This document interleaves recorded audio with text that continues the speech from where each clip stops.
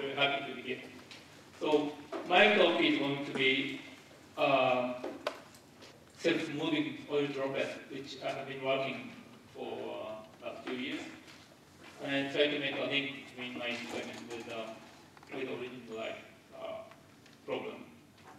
Uh, let me uh, briefly introduce my uh, my background. Uh, my background is um, artificial life. So artificial life. Some of you may know uh, here about this one. So it's um, uh, basically try to understand life by making uh, artificial systems, which is started back in 1987. So artificial life is, is classified into uh, three different categories. One is self-reproduction, how to understand self-reproduction, right? It's one of the, uh, the main topic in artificial life. And second one is how to make evolutionary systems, which is also have been done in computer simulations. The third one is a robot. So how to make a self-moving robot uh, entity is uh, the third criterion. And people have been studying all these uh, stuff um, for the last 20 years, but it's also starting from 15. So, uh, so this is um, starting from the cybernetics. So it's my, uh, my personal uh, note of what people are doing. uh, do you have a? No, you know. Oh, this one. Yeah, thanks. So as you see here, so um, those three uh, uh, categories is corresponding to these uh, branches. It's going uh, top to bottom, right? So this one is uh, how the people have been studying self-reproduction, right? Starting from von. Because von is first, one of the first person says that self-reproduction is one of the uh, important characteristics of living systems, right?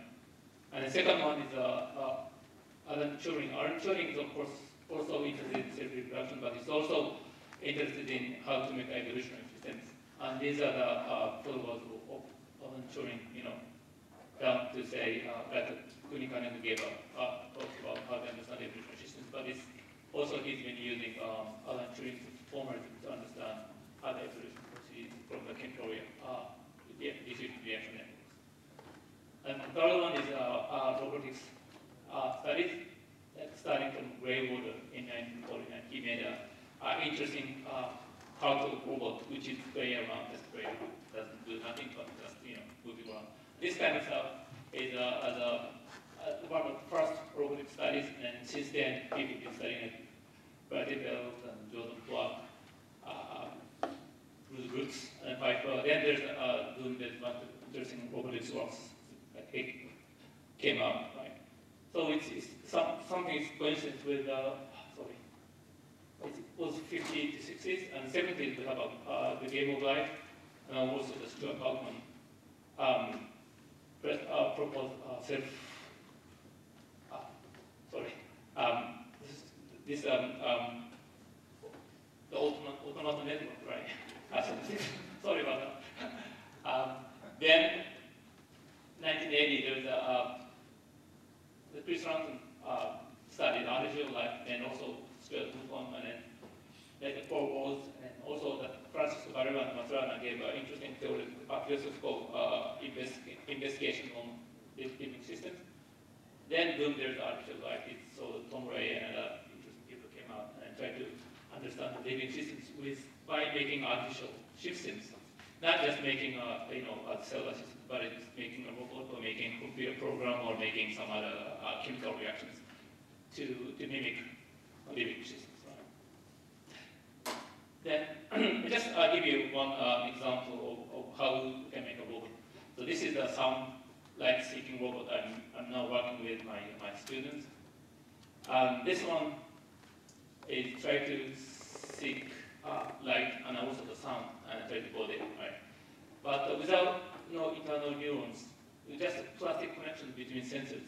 So kind of, kind of my idea is that, you know, uh, dynamics not within the robot, but because of the interaction with the environment, the robot can move around, right? That's, that's the idea. And then, for example, like this, this guy is a robot, you know, taking a video from, from the ceiling, and there's a, the ball. So the first of all, robot is doing sort of trial and error, and then, then finally he sort of um, find out where, where the sound source is, and he's approaching to the source. So this is what uh, people, so this is it's not typical, but it's, it's, it's one of the examples of how people are using robots to understand how uh, self, uh, autonomous motion emerges and to go towards the uh, source. So one of the message here is that embodiment makes some difficult problems simpler. So uh, people think uh, if the computer program doesn't move around, doesn't have a body, that problem usually becomes so complicated. So uh, it's, it's hopeless. But once you just, without thinking uh, in some complex way, just put in a robot, then that problem becomes easier. So that's kind of spirit that people working with. So as I said, the artificial life is a three categories, self-reproduction, evolution, and robots. But the, the, the, problem is, you know, uh, in order to discuss these, these problems, we need an individuality or the unit, right? So that's what uh, I'm going to talk about today. So this is, so what self-reproduces is we need a, a unit that self-reproduces, right? And then what evolves is we need a, a, kind of unit that evolves, right? And we need a, a unit that moving around. So these are the robots. So uh, in order to understand uh, these three branches, we really wanted to understand what, what is autopoiesis is. Autopoiesis is something that maintains its own individuality and shows these three uh, interesting properties. Right? Um, probably you guys know uh, a bit about autopoiesis. Um, the autopoiesis is like um, the simple definition of autopoiesis is, is that uh, self-organization of is circular uh, link between a metabolic network and a membrane. I mean that there's a metabolic cycle is going on here. That the production of this metabolic cycle makes membrane, right? And because of this membrane, the metabolic cycle works.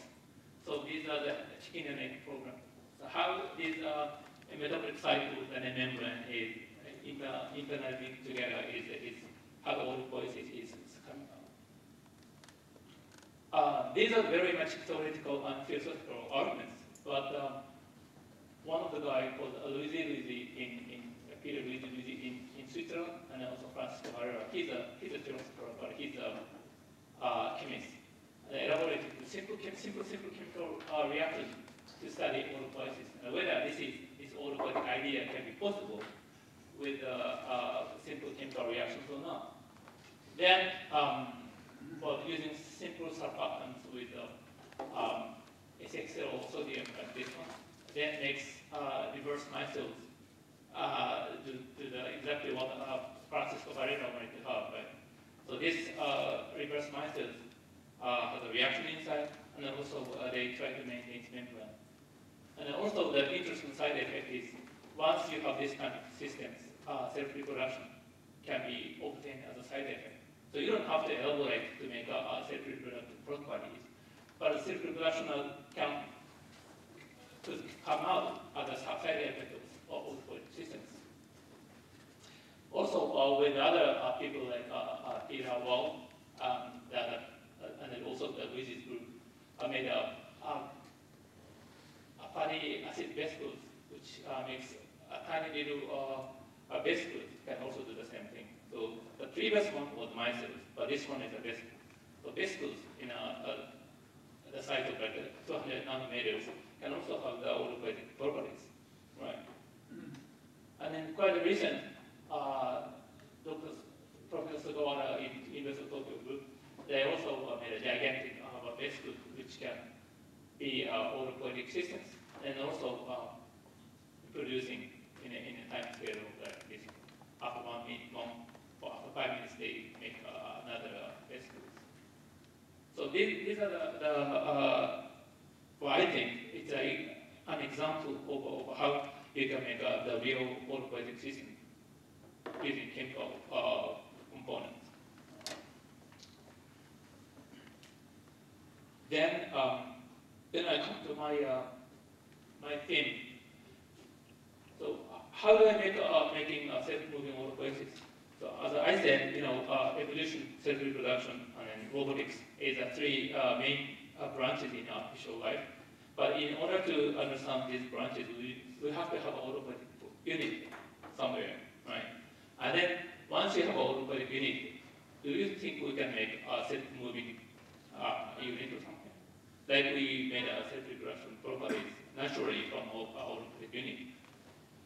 So, so I was interested in this one, and studying a, moving robot is interesting because it's, it's designed the way the system interacts with the world. Right? And also sensing the environment and making an action is inseparable from each other. This is sort of a Gibsonian idea of psychology that, you know, making action is also uh, making sensing towards the, the environment. Also, making action is to organize the relationship between the system and the environment. So it's not just an independent something that is, is making an action, but it's more like a relationship between environment and system. And self-adjustment is what we call uh, self-organization of the making action. This sense, the primitive cognitive system appears when self-movement emerges. So these, these are the, the, the, the reason why I'm interested in uh, self-movement. Because once you have a self-movement, you can have a, a primitive uh, and a minimal cognitive systems in a pretty much uh, a or the chemical. And this is the sort of the automaton uh, evolution, well, the automaton simulation of the, how the autopoietic entity can move around. I did with this one with the case with Suzuki and myself uh, four five years ago. So this is the uh, simple chemical reactions like um, um, L is the link particle when and when L uh, all when substrate two of the substrates coming to the neighborhood of the catalyst then they are making a link particle. And when there's a link particle uh, neighboring each other, then they are linked together and they make a boundary. Therefore, the catalyst uh, is enclosed within the boundary, and then the reaction goes on and on and then try to uh, maintain the boundary. But at the same time, this guy is moving around. So this uh, simple cell automaton tells you that you know once you have a, a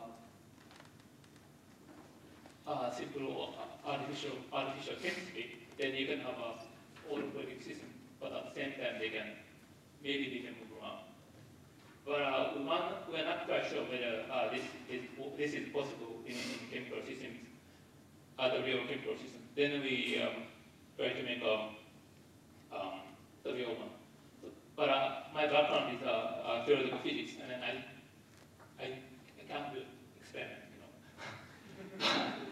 But because of the, the, there's a genius uh, chemist, uh, two of them. One is uh, Taro Toyota from uh, Tokyo University, but now he's in University of Chiba. And then also uh, Martin Hanczyc. He's now in University of Southern Denmark, but he's from, from Harvard. Um, these two chemists have helped me to in sort of elaborate this idea of self-moving uh, droplet and how we can make it and how we can play with it. Now, this one is so simple, so finally I can do it by myself. Uh, so I tell you what the, the chemical system is. Um, the system is so simple. Um, first of all, you have to uh, use the oleic acid system. The pure uh, oleic anhydride is the oil part. And then water part is like a, a high pH water. High pH is, is made by, say, soda. And the pH should be in between 11 and 12. That's the, that's the condition that I, that I know, right? So uh, the oleic anhydride is, is the main part of the olive oil. So just go to buy olive oil and then put the soda in the water and just olive oil. Then you can have it. But the problem is you have to have a pure system. Otherwise you cannot publish paper. Right?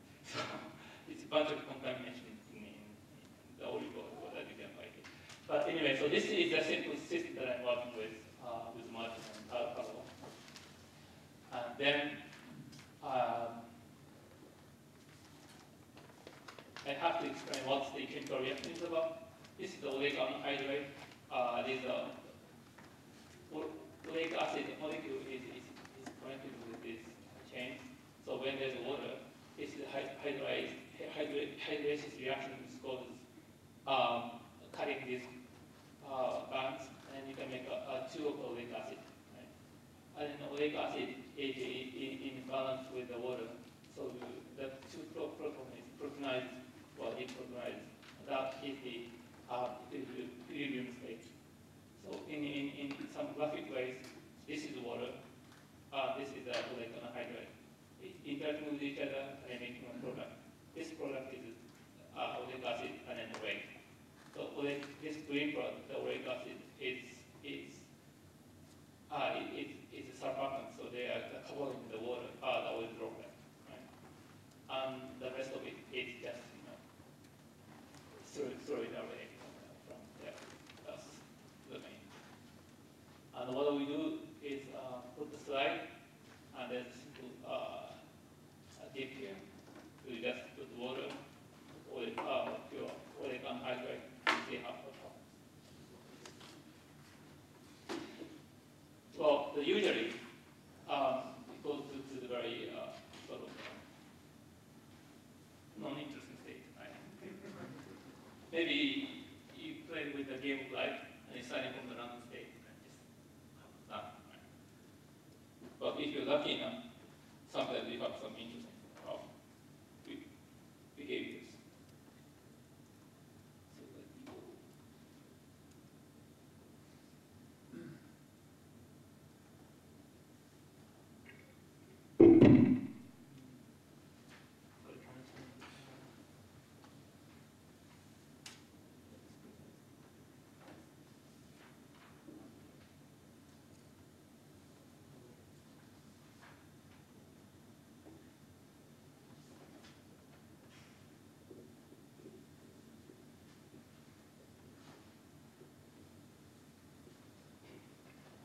So this is the, the one of the first experiment that I did, and I was lucky enough to uh, recording everything. Right?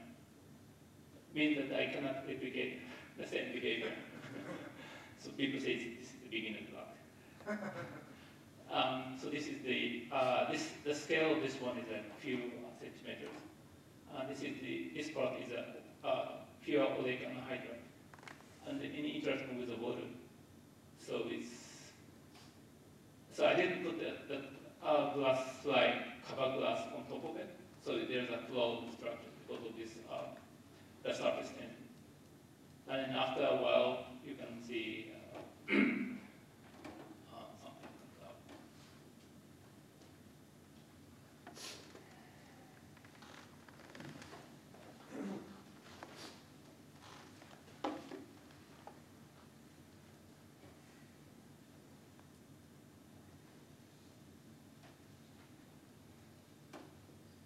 So I was interested in these guys. You at a scale of a 100, uh, few hundred micrometers. Say after a while they start to move around, which I call oil droplet, or, or, or, or autonomous oil droplet um, entity. As you see, usually they, uh, you know, throwing away something from the tail and it will this way.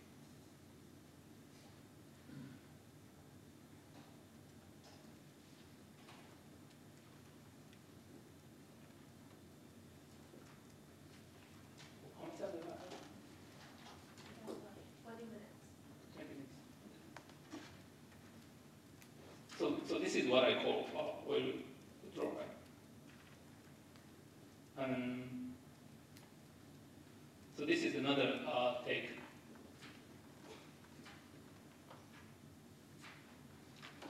And you can see some other uh, droplets forming here and also here. This one may not move around, but this guy is moving. So, so this is not, but this one, this guy. So this interesting uh, population of, of droplet is emerging from here. Right? Um, so sort of, you know, ecology of droplets. Uh, this is, some of them are not never been moving, like this guy never moves, uh, this guy. And then, as you see, some of them have some interesting uh, uh, trails, but some, some, some of them not having that, doesn't have that trail. So there's different ways of moving around.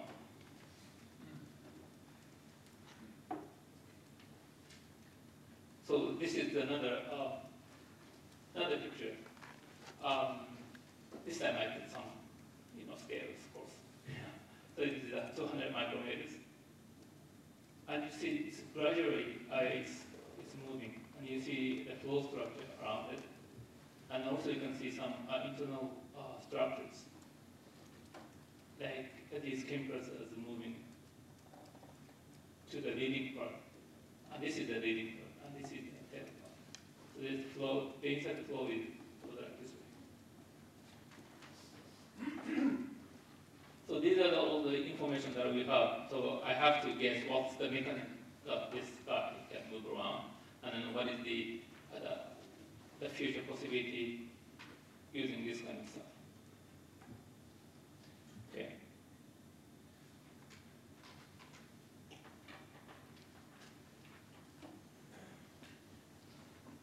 So first of all, let's say that this the wild experiment is important in the, in the sense that the environment of the droplet means the, the micelle concentration or pH is a white and a white level. And this one has more like a, a, a discrete something leading afterwards. And also uh, this guy is, is frequently changing its direction, but this guy has some structures sticking out from the surface and some other uh, structures. So these are the interesting uh, index that because even if uh, the condition is almost same, the behavior, the motion structure different. So now I'm moving on to how to how how can I understand the behavior. But this one is the close the movement, how the droplet is moving up. This is a control droplet. So I put uh, nitrobenzene inside the drop, uh, the oil droplet. So therefore the reaction is rather suppressed. Uh, therefore it's easier to maintain the structure and then make a, a close view of. And you see uh, the surface it is like a, um, some membrane or fluid, you know. so sort of unclosing the way that it, like, the behavior is, is, is observed. And as you see, these are the, the convection, as I said, the, there's a convection flow. When the droplet goes this way, the convection flow, convection flow goes in the direction. I forgot to show you.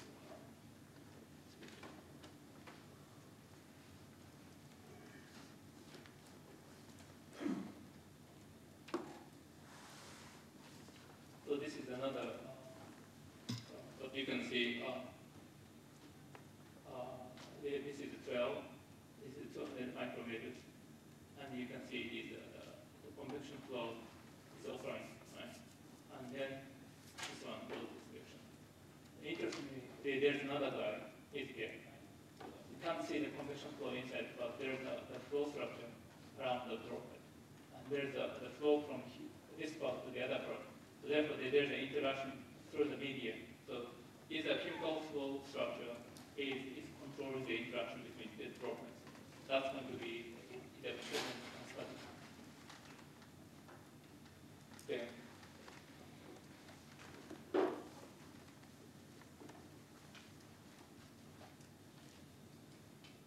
Then um, I, I try to make a phase diagram of why when we have a, these droplet structures. So we change the concentration of oleic in the solution and also control the pH. This green area, as you can see, uh, chemical reaction is going on, right? So it's very reactive. So you can see, you can see the reaction is going on, right? Making some bubbles and stuff like that. But the reaction itself cannot make droplet move around. You have to have pH conditions or some other thing. In this case, you have to have a, a enough oleic around surrounding the oil droplet. Also, you have to have a high pH. Then you can have a, a movement. So it's- you can have the convection. So when the, the first column said yes, means there's convection. Or when you have convection, and al- also you have a chemical reaction, then the droplet can move around. But the movement is different uh, depending on how much oleic is within the solution. That shows that yes, that means that there's a different movement. So these guys, no oleic in the solution, but pH 12 and pH 11 with the oleic because they mean more uh, as the same behavior. So now uh, we put a pH indicator within a droplet and see how the pH changes. But when you see these droplets moving around, and you can see some white trail uh, when droplets moving around. means that the trail has a lower pH compared with the, with the environment. And then white means that pH is lower than 7. Therefore, uh, the first of all, the environment looks like a pH 11 to 12, but the trail, uh, trail has a pH 7. And also, uh, this guy is departing from the lower pH. Therefore, they, they're trapped by their own trail. That's what the memory effect within the environment. So the droplet, when they move around, they, they are sort of uh, spreading um, surfactant after they're moving um, in, in, in the rear side. Therefore, uh, this, this is accumulated within the environment. Then, because of this lower pH regions, the droplet cannot move freely. And this effect is, is an interesting uh, effect to the droplet motion because once the droplet is, is, is close to the lower pH, uh, the convection flow is reversed. Then they try to go away from the pH, lower pH. But when there's a high pH, then this guy is goes towards the pH. So there, therefore, there's a primitive chemical taxis exists within the droplet. So I try to uh, analyze it because my um, my laboratory, the theoretical uh, uh, studies. So um, this is, uh, but it's not a model, but it's a numerical simulation of the, of the oil droplet. And well, those who are familiar with, uh, with these equations, this one is an Navier-Stokes equations. It's just uh, simply describes how uh, the flow structure is described. This is a two-dimensional um, incompressible water. Um, these are the u vector u is the, the flow vector at the point x of time t. And the point is, uh, there's a, the, big, the force F is on the right-hand side.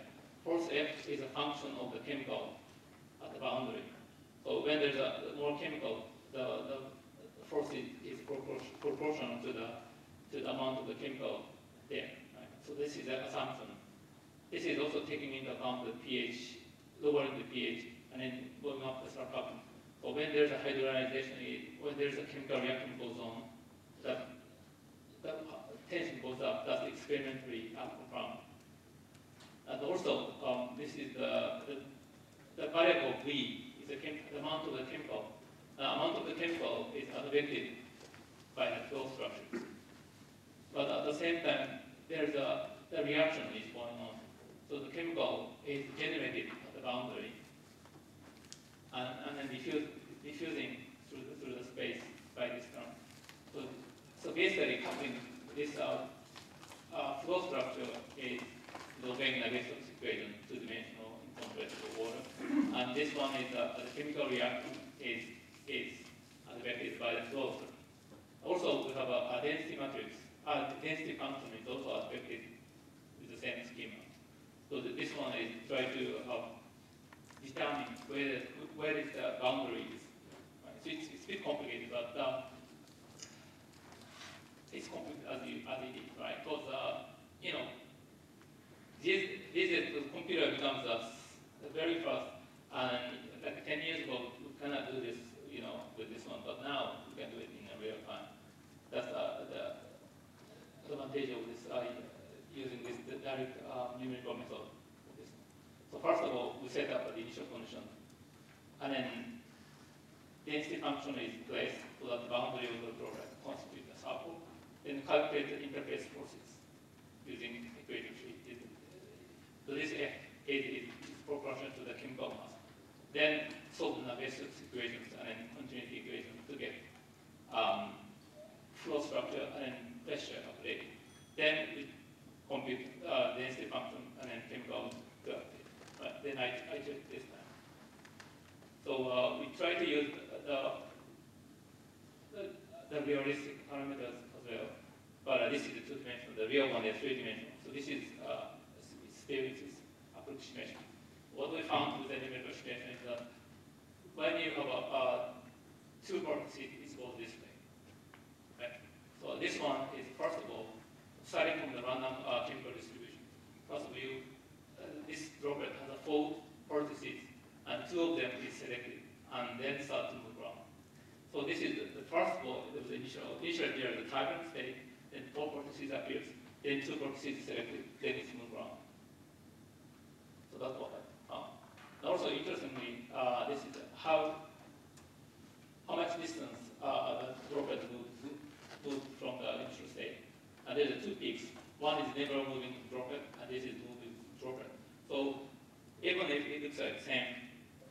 initial uh, distribution of chemi chemical mass, chemical mass, um, the droplet can move or move not, uh, does not move.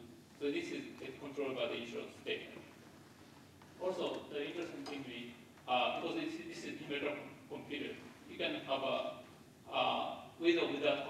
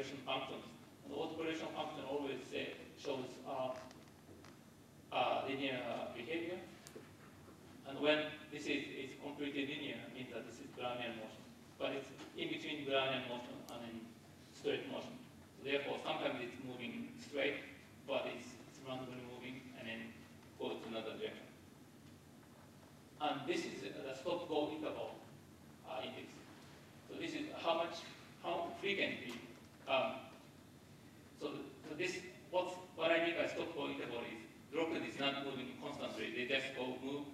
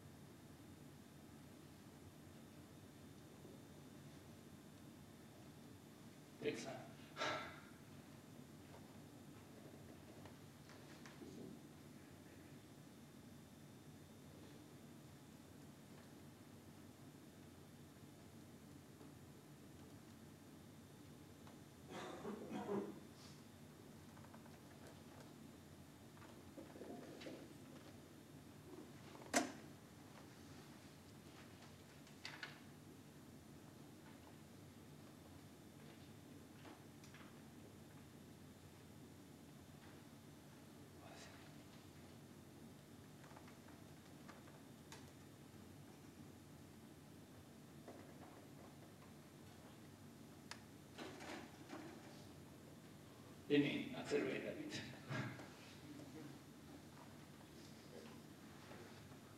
so behavior sometimes they um, are moving in, like making some strange uh, torus-like behaviors in any way.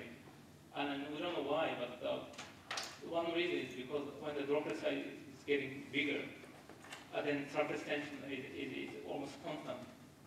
And because of the Laplace pressure,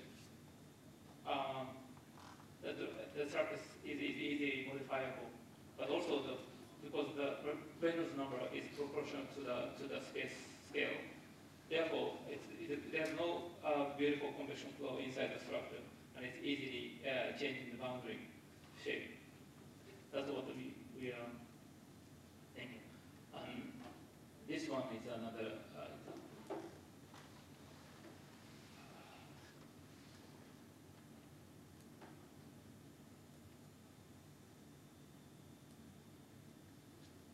So this one just break up like this way. So um, so surface tension uh, balance is, is of this uh, size is sometimes um, allowed to decompose into small pieces, which is very unusual in the case of um, a droplet experiment.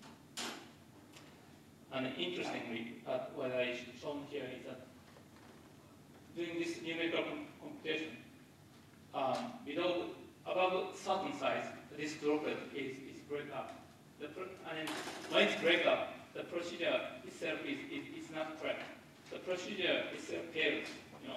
That is corresponding to whether this strange phenomenon is observed. So I can um, do it. How much time do I have now? Uh, About Now, okay,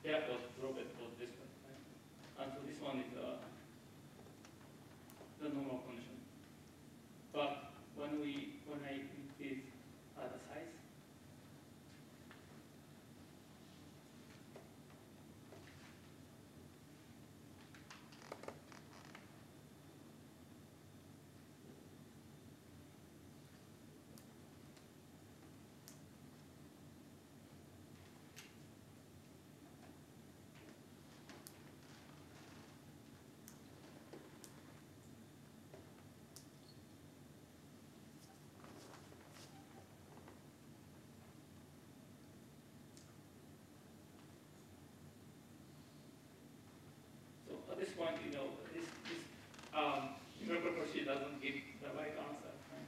Because when uh, the, the size is, is, is excess some certain amount, the procedure fails to give uh, physically accurate answers. So physically non-computable region is corresponding to whether the droplet has this strange shape. That's why I'm Okay. So I can. I, yeah,